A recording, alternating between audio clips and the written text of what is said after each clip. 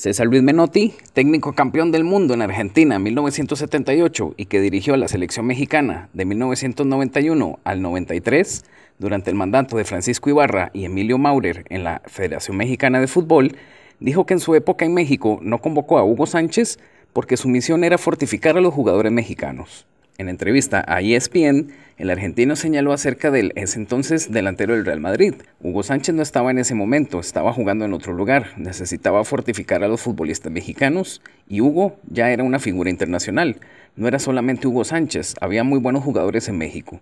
En ese tiempo, Hugo dijo abiertamente que no volvería a la selección, hasta que Maurer e Ibarra dejaran la Federación Mexicana de Fútbol.